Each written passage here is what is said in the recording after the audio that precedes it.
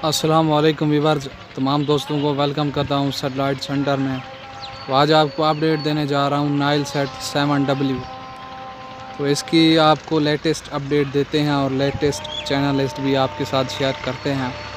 तो पाँच फीट पर मैंने इसकी सेटिंग की है तो कुछ दोस्त भी कह रहे थे कि हमें नाइल सेट सेवन डब्ल्यू की अपडेट दें। तो पाँच फीट पर मैंने इसकी सेटिंग की है और मैंने इस सेटेलाइट को मतलब कि डिश को छत पर सेट करके सेट किया है, क्योंकि इस सेटेलाइट को सेट करने के लिए आगे का जो एरिया है वो बिल्कुल साफ़ होना चाहिए तो फिर ये सेटेलाइट रिसीव होती है। तो मेरी जो लोकेशन है वो है पंजाब डेरा गाजी खान।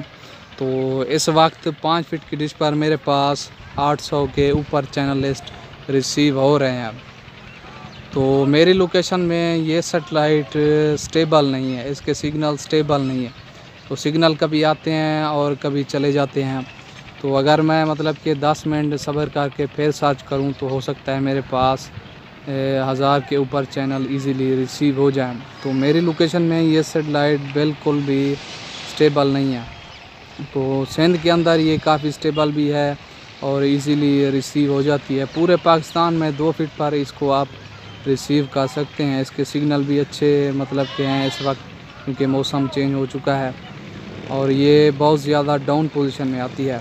तो ये देख लें, आप इसको मैं आपकी कुछ सेटिंग वगैरह दिखा देता हूँ। तो ये देख लें जी अपना L N B position black ultra L N B use की है।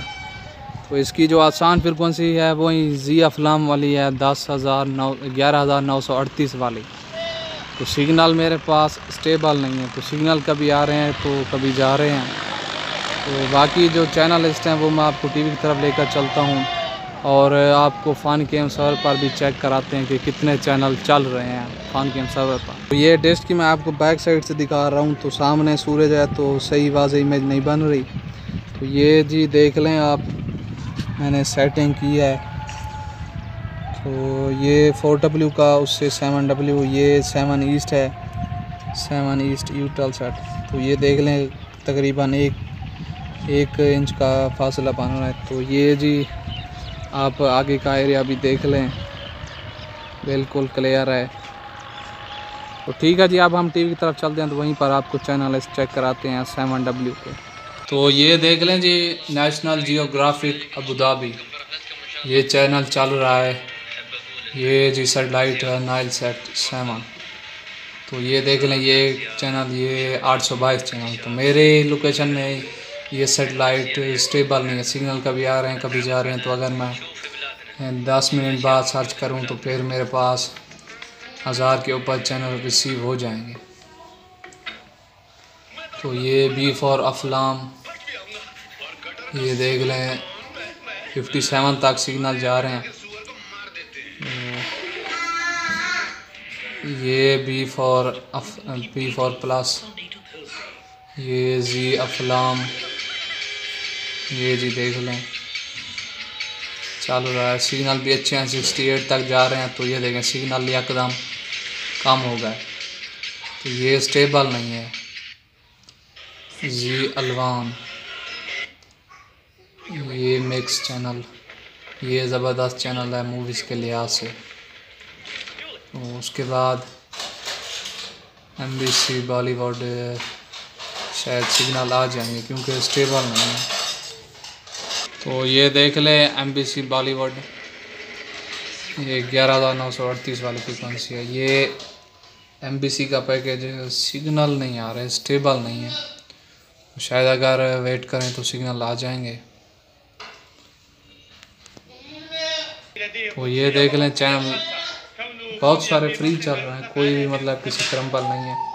अगर सक्राम्बल हैं तो वो चल रहे हैं फॉर एवर या सी पर। ये बाहर H D full H D में जी। ये यू टी वी इराक जी, ये देख लें जो मतलब कि जिन चैनलों पर सिग्नल हैं, वही चेक करा रहा हूँ, क्योंकि सबसे गंदी चीज़ ये कि यहाँ सिग्नल स्टेबल नहीं है।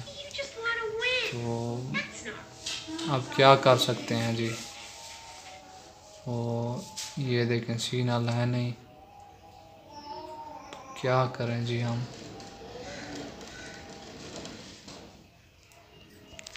और ये देख लें स्कोप टीवी तो ये नहीं चलो। और ये भी फॉर अफला देख लें फिर कौन सी, देख लें ग्यारह हज़ार नौ सौ अड़तीस वाली। सब फिर कौन सी आसान है सेटेलाइट की।